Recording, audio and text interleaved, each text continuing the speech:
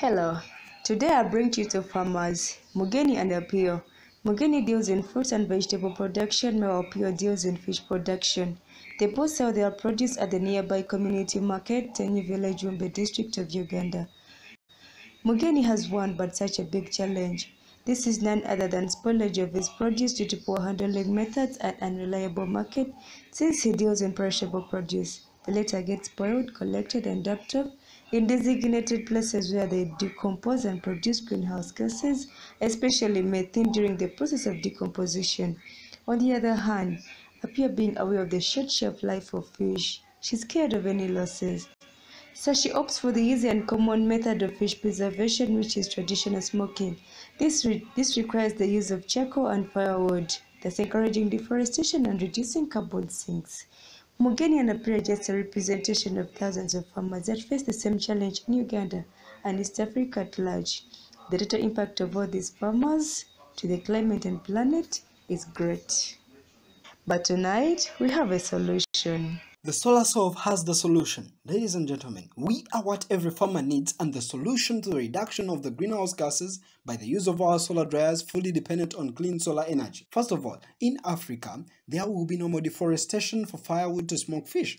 With the Solar Solve, more carbon sinks will be conserved in the environment as our solar dryers will be used for drying fish. In Uganda, 80% of the fish on markets is smoked and Africa loses 700 million US dollars annually due to the perishability and the low quality of smoked fish.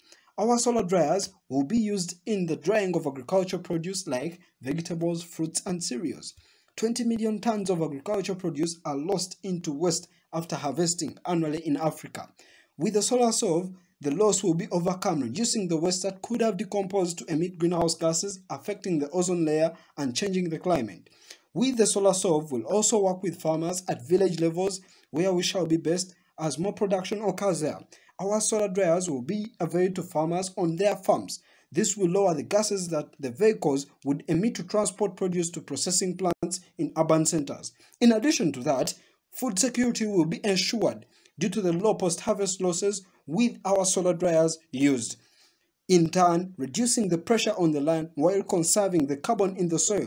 This will improve the fertility and leads to higher yields of agricultural produce. The solar solve will ensure clean, safe, and long shelf life produce of high value, doubling the farmer's income while improving standards of living. Ladies and gentlemen, this is how we are going to operate. We will make solar dryers that will be purchased by farmers individually or in cooperatives or even in groups.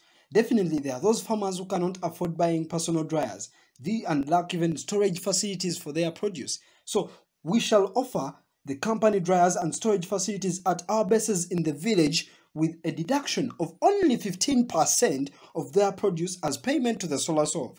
Corporate training on how to use the solar dryers and drying of produce within the dryers will be offered at an affordable price Communal sensitization on the beauty and the benefits of our solar dryers will also be carried out to interest more clients. With the 1 million US dollars to save a farmer to save the planet will be accelerated. My dear listeners, this is how we are going to make money and let's take them through. See how viable this idea is monetarily. The cost of establishing our solar dryer is 133 US dollars.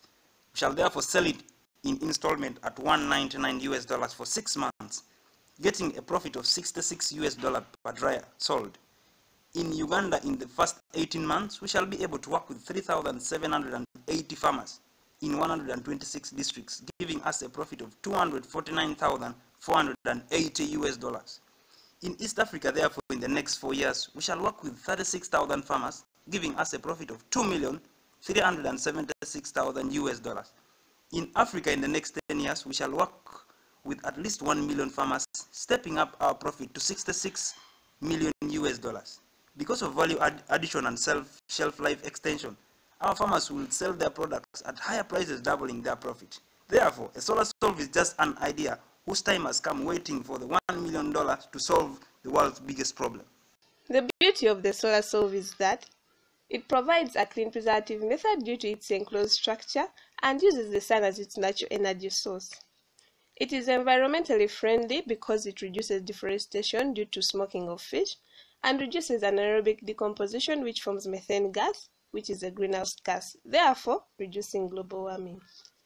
It is reliable and affordable compared to other preservative methods like refrigeration, since some remote areas in Uganda do not have access to electricity, more so reliable electricity. It doubles the farmer's income through adding value on the produce and allowing them to sell the produce when prices have risen.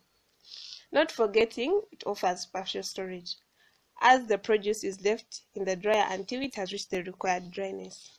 Someone may wonder how the solar solve is unique. Well, we will produce solar dryers of different capacities. The farmer is not going to be left out since he or she will decide on the appropriate time for him to sell his or her dried produce. We also envision coming out with a solar dryer run using a solar system in order to have continued drying irrespective of the season. This is a team of great minds. Jacinta Nampima, Joseph Luswawi, Ernest Ayen, and Rebecca Namuaya. Thank you.